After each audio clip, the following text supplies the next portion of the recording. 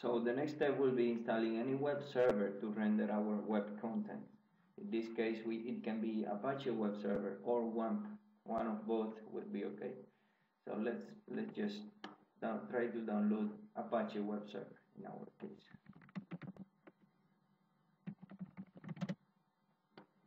Very simple. We go to the Apache website and we download.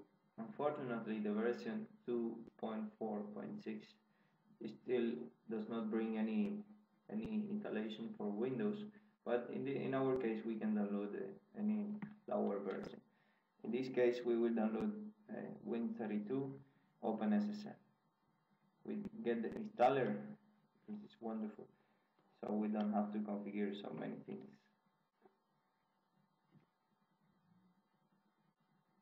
So once once it's ready we proceed with the execution we accept Apache HTTP server you can you need to read this first. In order to know the license and the terms of conditions. So network domain I don't know in case that you have something I will just write localhost.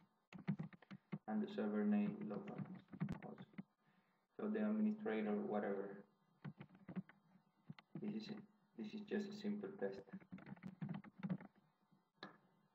all users recommended this is uh, as port the port 80 recommended. So this is what we will use. We can use a typical or a custom in case that you are more advanced but in this case we don't need to so.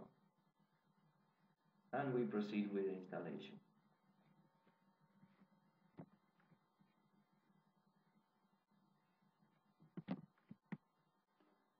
That's all. It is ready. So now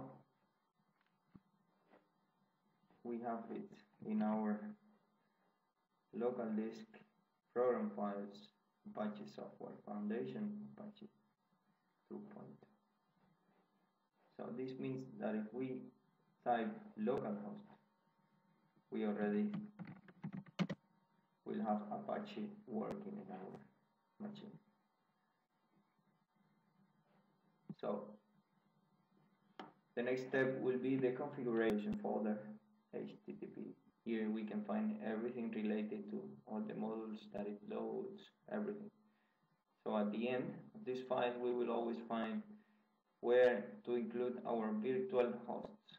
This is what we have to edit, this file. But we need to include this file. So we uncomment this line and we just save it and go then to extra folder and open the virtual hosts file. So this file virtual hosts here we will define our hosts. In our case we will comment all this stuff here. And we will include our own configuration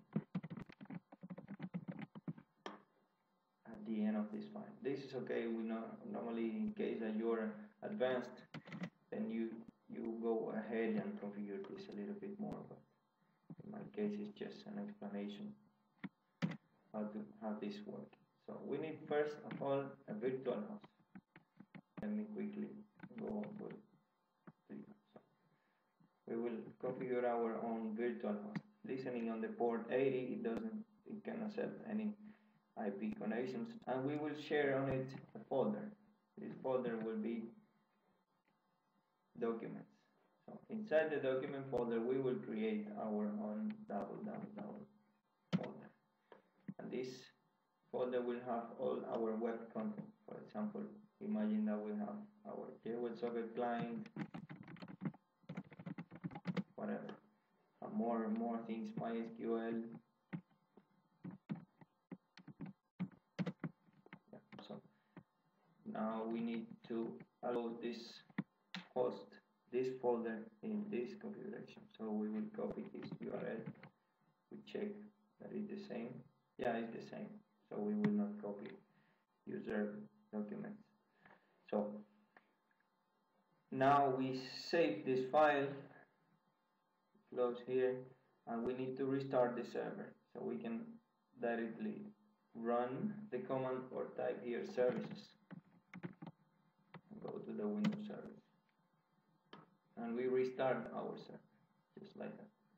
Restart and it will automatically load this configuration folder. So let's see if our localhost already works.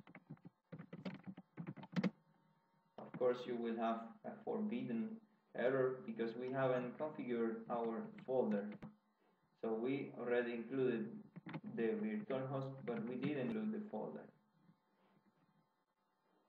so we need to open the extra folder and include in our virtual host our folder. So that we say that we will grant access to this folder. Follow follow links in case that we have some smile links inside it.